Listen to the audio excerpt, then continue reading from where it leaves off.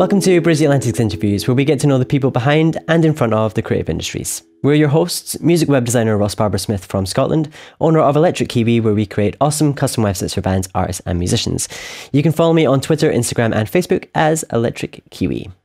And I'm singer songwriter and multi instrumentalist Marcio Novelli from Canada, a man who wears many hats, literally and figuratively.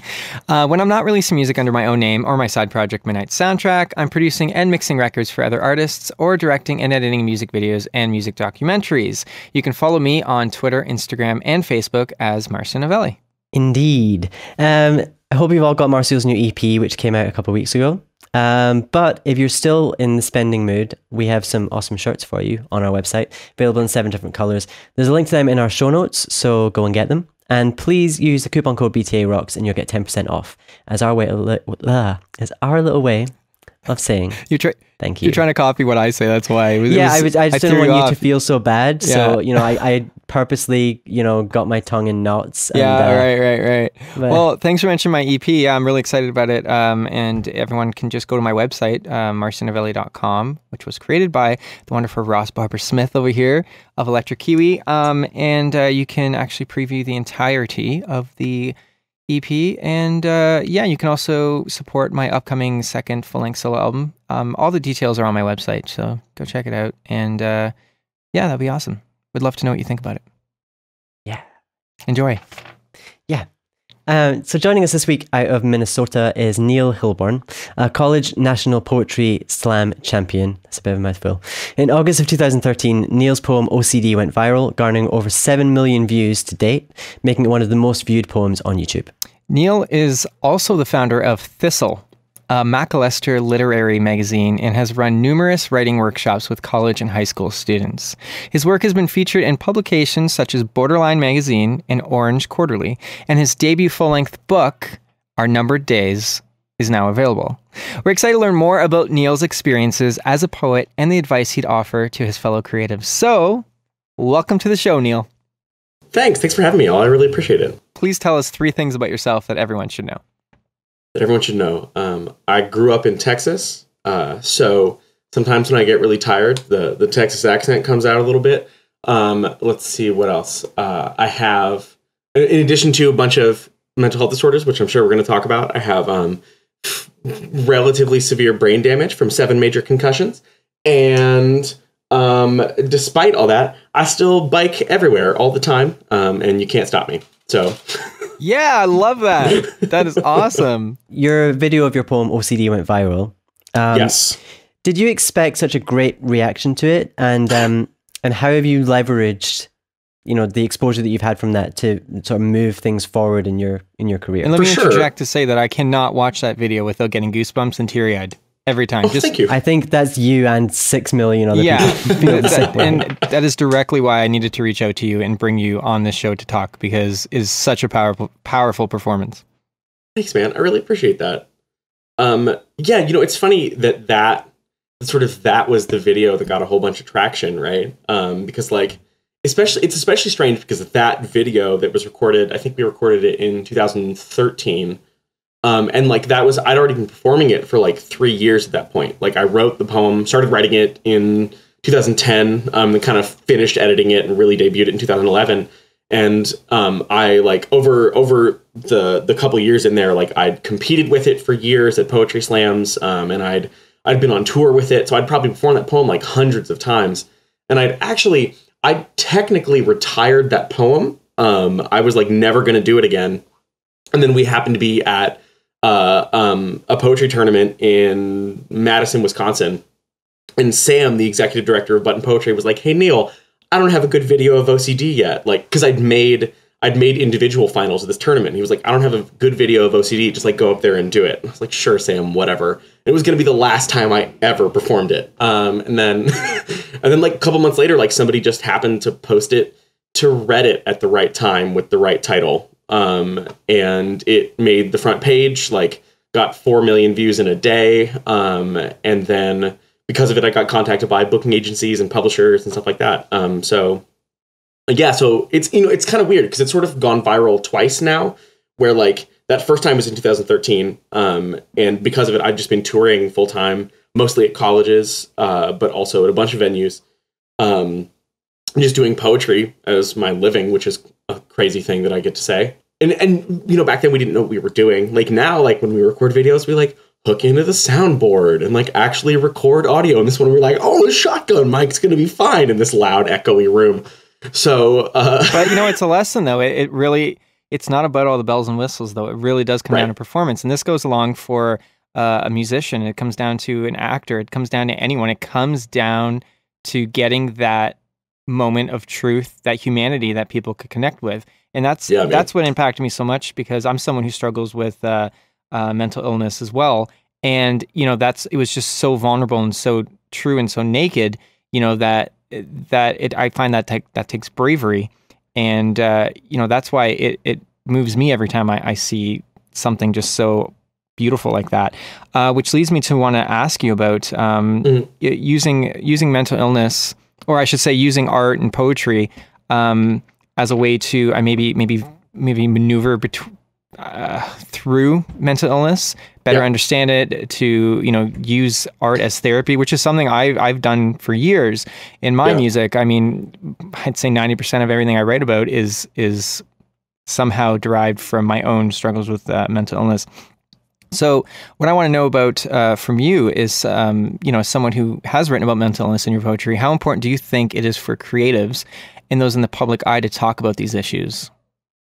Oh, I think it's so important. I, I think that um, the way that people get into conversations about maybe it's mental illness, maybe it's just their own mental state, maybe like people just have trouble talking about their emotions, but sure. they feel like, but they, because like two people have experienced this one like piece of art and it's caused them to feel like a similar emotion then they're able to open up about their feelings in general like I, I feel like i feel like art is the way into your internal state um so like yeah i feel like if anybody's gonna talk about it it's gotta be artists like jesus christ I almost feel like it's a duty that we have. You know what I mean? Yes, I said mm. duty. Let's all be childish now. duty. No, but seriously, like I, I feel like eh, we're not doing ourselves and anyone else justice if we don't dive into these deeper um, emotions and right. psychological turmoil. You know, there's a lot of fluff out there. There's a lot of garbage. There's a lot of just music that makes people want to bounce their heads, or movies that are just void of any truth. You know, right? Um, so I think that I think the world needs that. I think people need that, and I think the more that we can normalize these sort of things, the less suicides there are. I know it sounds so extreme, but yeah. it really is true. The less someone feels so isolated and alone and crazy, you know, it, it I, I, always tell people, look, I sort of go to such an extreme, but if, if you found out you had cancer, okay, would you be embarrassed to tell people? Would you be embarrassed to tell people you're seeking help for that from a professional who deals with that every day? No. Right. You know what I mean? If you had any sort of ailment, it, from the smallest you know scratch on, on on your skin to a broken bone you know you would go to a professional to heal that you know? Yeah, and you would you wouldn't be embarrassed to tell people about that. So just because it's a it, it's a, a mental scrape or a mental broken bone you know um, mm-hmm. you shouldn't be embarrassed to talk about that. And it, there's no shame in going to professional to seek help for that to help heal Absolutely. to help move through that and also to find ways for you to if you're an artist of any sort to use that as a vehicle for expression to move through it and to help other people. Yeah. I'm very passionate sure, about this, so so I, am gonna be. Yeah. I'm, I can not help it. It's something. Do your thing, dude. We are we are completely on the same wavelength, man. That's that's totally why I, I want to talk to you right now. Um, yeah. You know, so so would you agree with that? Would you agree that it's it's it's just it's a responsibility in a way? Yeah. Well, I also think that it's your responsibility as an artist to just tell your own story as as openly and as genuinely as possible. Um, so, True. and and I think that um, audiences and readers and listeners can always, always, always tell when you're trying to trick them. You know, like people like know when you're being disingenuous. Um, and so I've always thought as like my job as a as a writer and a performer is to just tell tell my story and just and relate whatever I happen to be going through as just as as genuinely as I possibly can, um, because like that's that sort of specificity and and openness is what people are going to really connect with. Um, so yeah, man, I think that like just gotta just gotta talk about your story and talk about what you're going through. Um, and, Absolutely. Um, as long as as long as it feels true to you and as long as you really care about it, like yeah, that's, right. that's what people are going to connect with. Oh, absolutely. Yeah, yeah, I think it needs to be your own story. Um, and I guess I just what I'm what I'm trying to say is if if that if part of your own story is dealing with some sort of mental illness or just yeah, or like or like you it. said even just even if you if your mental state is just not in a great place or whatever right. um yeah talk about it. Why not? Don't be ashamed. yeah, even if you're not an right. artist even if you're just anyone don't be ashamed to talk about it. And it yeah. doesn't mean that you're crazy. It doesn't mean that there's anything wrong with you. It just you know so that's our um, that's, that's our public service announcement for for this yeah. episode. um, I heard somebody uh, at a I was doing a TED talk once, and somebody else um, was he did a he did a thing where he was trying to sort of recontextualize mental illness, and he talked specifically about um, what's the term he used uh, neuroatypicality, um, and you know, sort of like just trying to just trying to like think of it not as like you are ill. It's like, hey, this is just the way that your brain functions. And you know what? Sometimes it does it does disrupt your day-to-day function and that's right. when that's when you go that's when you talk to a professional. That's when you get somebody who really knows what's going on. But like otherwise, if it's not messing up your day-to-day function, like it's not necessarily a wrong thing. You just got to figure out how your brain works and how how you can you can work with it to achieve whatever you're trying to achieve you know i know you you know you you run workshops and um mm-hmm. i'd be curious to find out like um you know, as someone who runs workshops, do you find that there there seems to be a common struggle that people that you you work with have um, in terms of their creativity, and is there anything that you can do to overcome those kind of struggles? Yeah, um, I think especially in um, in writing workshops, uh, the the thing that people come up against so often is like, you know, people are like, "Oh, I have writer's block" or whatever, right? Um, but I think that writer's block is so often like because like I, we we know what's good. Like within the art form that we're producing like you know you know what's supposed to be good you know what it's supposed to sound like but sometimes you come up and you like can't produce it. So i find often at least when i have writer's block i i'm like bumping up against a cliche and i'm like i can't write this cliche because i know it's bad right? Um and so i'm like well what else do i write? Because all i can think of is this dumb line. And so i tell people i'm like dude write the line. Like get that brain garbage out because you know like you're gonna write that cliche and there's gonna be another cliche behind it and something else behind that. But then like once you get all that detritus out of your brain then you can sit down and like actually write the stuff that you care about you know? Um so i say yeah that's that's really all i say. I'm like don't be afraid of the garbage dude. Like this is this is your own poem. You can go back and cut all that stuff later. Like nobody has to know that you wrote yeah, that. it's funny how we get it. We get. I totally read that. You get totally afraid of not writing something perfect. I don't know if it's something right. some people like myself deal with perfectionism and stuff, but it's still um, just write it, right? Or for me, write right. about having writer's block. write yeah. about it. It's suddenly right. you have about whatever's in your yeah exactly yeah. just whatever's in your head, get it out, and then there's always going to be something behind it. You know, I, I think that that sort of idea of perfectionism is really it's really prevalent um, be, because so often people are like everything that I create is a perfect reflection of who I am. So if right, this right. isn't perfect, and I'm not. I'm like, dude, that's not. Do you think that a lot of it comes from like a fear of what other people are going to think or oh. other people are going to react to? Like, how yeah. do you combat that kind of thing because I guess so many creative people have that fear of right. someone's not going to like what I do, but I I guess it's that it's coming to terms with not everyone's going to like everything that you do. Like, right it's and that's a big part of it. Um, I think that you know something I've I've actually learned from a lot of comedians um, is that like bombing never killed anybody. You know, um, like I, the times the times that have been the performances that have been most helpful to me in my career like aren't the ones that went really well because like I know what that feels like. You know, it's the ones where like everybody hated me and I like really right. failed miserably and they wanted me to go away, you know? Um, because I'm like, oh, that really sucked, but it's over. Like nothing bad happened. I still got paid, so like whatever. It's, it's, like it's kind of an exposure, isn't it? it's kind of right, similar to like, what oh. you were doing exposure. Yeah, exposure so it's therapy. like, oh, cool. Like I'm not, you know, I failed, and like it didn't even didn't even touch me, dude. Like I'm still fine. um, so yeah, I think I think failing publicly is like really really helpful because like the first couple times you think you're gonna die, and then you're like, no, I, cool. I still got on my hands and stuff. This is fine. Like you're catastrophizing. Exactly. exactly. Yeah. Um, what I did want to say is um, I wanted to share something. Uh, over the last year, I actually barely. I don't think I've written a complete song in, in the entire year, which is very rare for me. This hasn't happened in a long, long time. And yep. I think it was last week, actually, during a, my a, my weekly therapy session. Um, it was brought up to me to why not write not for an audience, right? Just go back yeah, to man. writing completely for yourself. And you know, it's been so long that I just sat down and wrote something, not thinking to ever share it. You know what I mean? Not thinking, okay, uh, that you know what, this isn't good enough. I'm going to scrap that. I'm going to try something else. No, just go with mm-hmm. that, whatever you're going with, because it's just for me. Now, yeah, man that's always been when the best stuff comes out and then it's not just for you. But you got to trick yourself. Mm-hmm. You got to be like, this is just for me. Who cares? I'm not showing this it's, to anybody. Like never. Is, it's just for me. I'm just chilling, dude. And like, you know, I'm, I'm that's what we should say, do with all these interviews. Yeah, yeah, we should just pretend just that they're right. just for us. Right. It's. I mean, it's true because like that's Don't when we? you allow yourself. that's when you allow yourself to get weird. You know. Yeah. Um, and I think that true. it's it's like allowing yourself to take risks is probably what got you in the position you're in in the first place. No, exactly. Because you're like this is this might not work, but fuck it, man, I'm doing this. Well, like, you know, it's a catch twenty two because you start growing a bit more of an audience, and that's amazing. But then it, you know, for some of us, it also starts shifting you to be more, even more critical of your work. So mm-hmm. yep. maybe mm-hmm. that work minimizes. Like for me, just I used to write s- stupid amounts of of, of material uh, yep. when I first started out years ago. You know what I mean? And it slowly went lower and lower.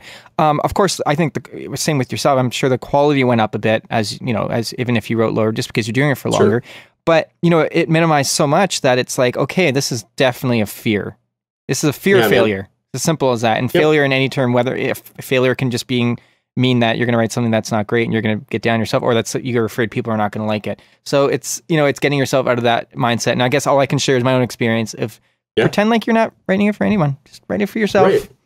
and you're going to yeah, be the man. most honest and vulnerable and it's going to be the most therapeutic. And I'm happy that I have editors and have people that I've been working with for years. You know, generally I'm good at what I do. Tell me if this is trash, though. So, do you think that comes with you being more confident in what you're doing, though, um, over the years? Because you know, I'm sure when you started out, and I can relate to this, if anyone said anything bad about what you're doing, you pro- you'd probably go into a ball and start crying. You know what I mean? It's like I'm awful. Oh my god. You know, I'm a terrible artist. I know yeah, exactly. Sure. So like, where does that validation come from? It, that that's something I always I, am always curious about. Is the validation your own validation, or do you think some of it has come from an outside source?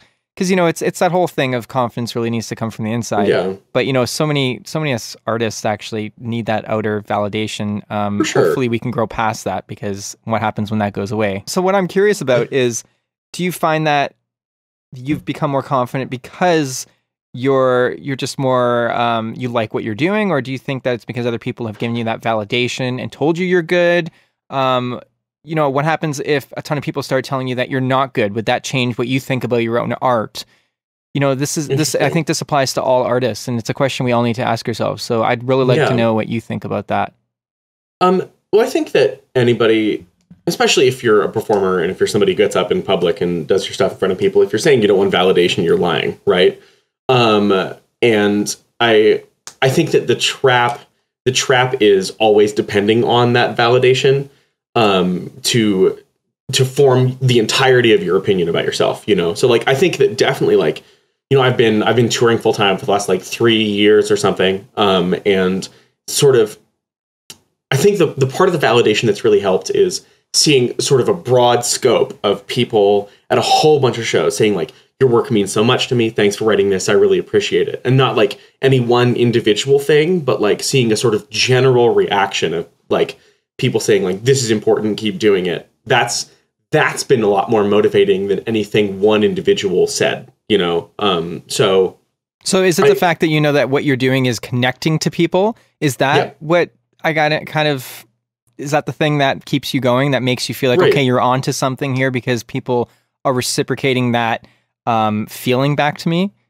Yeah it's um, people saying like it's people saying so often like i really connected to this story like thank, thanks for thanks for sharing your story. Thanks for being so personal with it like that that sort of validation. And and granted, I'm still out here writing like weird ass poems about like sure. Casimir Pulaski and stuff like that that like probably nobody's gonna read, but I'm writing because I'm excited about it. But like definitely it's it's it's encouraging for me to like continue writing spoken word pieces um, that I think people are going to connect with, you know, be, because because like I see sort of the form of poems that I've written in the past that people really into, um, and so I feel I do feel motivated to keep writing in that genre because people like you're good at this genre, keep doing it. So the know? question now is, and I, am pretty sure I know the answer is: is there a part of pandering to an audience or is it part of you're an artist that again like myself like ross like all of us like many people listening to this right now you're capable of writing and creating in many different different styles and art forms yeah.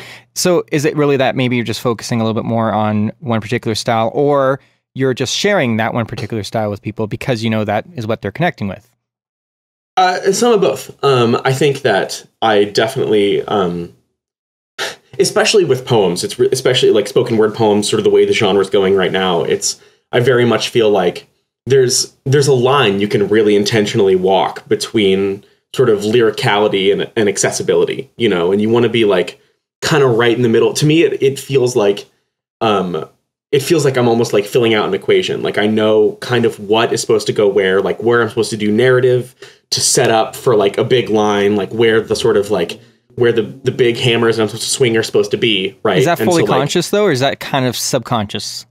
It's so the in the first few drafts, that's subconscious. I'm not thinking about it. I'm like just write whatever, write the narrative, and then when I get to editing and when I really start thinking about putting it in front of an audience, then it's a much more conscious decision where I'm like, I know how this form works. Um, it's left brain, but, right brain. It's kind of like you know you're letting the creativity flow, then you're fine tuning it so it makes sense. Yep. Um. So, and and I still like in those poems I think are going to be accessible and that I think might be like hits or whatever, quote unquote. Um, but I in, in those poems I'm still thinking like, okay, how do I how do I do something that people are going to that people are going to get and people are going to connect with that I'm still like representing myself in. I was going to say, is there um, still is there still a selfishness in there though? And, I, am not saying that in a bad way. There needs to be. I'm totally right. selfish when I write. And I, I, I think it's like the selfishness at first, and then excuse me, uh, the selflessness, you know, allowing people to connect with that, or else yeah. it's just for your enjoyment.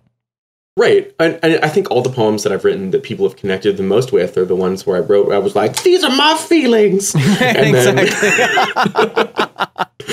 um, people are like, those are my feelings too. I'm yeah. like, cool. There's 7.5 so. billion people in the world. You know what I mean? To think that we're the only ones that feel a particular thing is outrageous. You know yeah. I mean? Just, just bonkers. Like, yeah. and how how egotistical is it to think like I'm so special? I'm the only person. and that's just no who's one, currently alive on the planet, right? No one has ever been this particular type of sad before. Like, oh, shut up. exactly. And on that note, are you ready for 20 questions? Let's do this. All right. Coffee or tea? Uh, tea. Meat or veggies? Veggies. Twitter or Facebook? Twitter. Texas or Minnesota? Ooh. Minnesota. Oh, fencing or football? Fencing. Marvel or DC? Marvel. Education or experience? Oh, experience. the Wire or The Sopranos? The, the Wire. fact or fiction? Fa- fact. Fact. Talent or attitude? Attitude. Attitude. Parks and Rec or 30 Rock? Oh, dude. Uh, Parks and Rec. we ask the tough questions here. Yeah, we do. sure. Uh-huh. we do. Batman or Superman? Batman. Style or substance? Substance. Now, I base this one on stuff I've seen on your Twitter. Okay. So, owls or unicorns? Bro. Oh. It's gotta be owls, man. All right, you're gonna you're gonna you're gonna make one of us happy, or actually you're gonna make a lot of people happy, or a lot of people upset with this one. But okay. Canada or Scotland? well, I've never been to Scotland, and y'all have unicorns on your crest. We so do. I'm gonna have to go with Scotland. I'm sorry. It's a it's a mythical place. It's still a magical and mythical we, place. You know, we've got we've got our fair share of owls land too. Of Scotland. Yeah, for sure. So we've got the best of both. We have owls here too. Yeah. from Scotland, you know. Um, so I can't like love us. I'm like, oh, frightened rabbits from Scotland, awesome. Yes, yes. So frightened anyway. rabbit are from Scotland. You are correct, and they're very good. So anyone ding, who's ding, not ding, heard them should check correct. them out. Yeah, for yeah. sure. So now this, uh, I, am you know, I'm gonna just gonna you come straight out and don't say, it, yeah. I don't know how tough this one's gonna be no, for just you. do it. I really have genuinely okay. no idea. All right. Yeah, neither do I. Michael Jackson or Michael Bolton. Oh, dude. Uh I mean, it's gotta. Th- you're right. This is hard. Like, it's gotta be MJ, but like, that's actually a very difficult question. you know what? Th- this was I, am I'm, I'm going to say for me, it was a joke question for the first okay. like two and a half years of us doing the show. For Ross, it was for a serious sure. question. But since Michael Bolton has become aware of the show and has tweeted us a couple of times, and since his new like, well, it's not so new now, but the Valentine's Day special Netflix that came out featuring him, he's oh, kind of you know yeah, yeah. the Bolt's back. You know the Bolt it's is true. back. Well, the, the Bolt never fucking the, left, Marcio. The, the Bolt has always been in the room. He's been in my heart this whole time, Marcio. I mean, listen, I can go the distance you. with Michael Bolton. I could I could probably throw in some oh, more Michael Bolton. It's becoming it's becoming but. more of a real thing. You know what? We urge our audience, everyone, go tweet Michael Bolton and tell him that you want to see him on MB Atlantic. Tell him take tell him that we want us. him on the show. Yes, um, I, and that you're not going to rest. You're not going to sleep.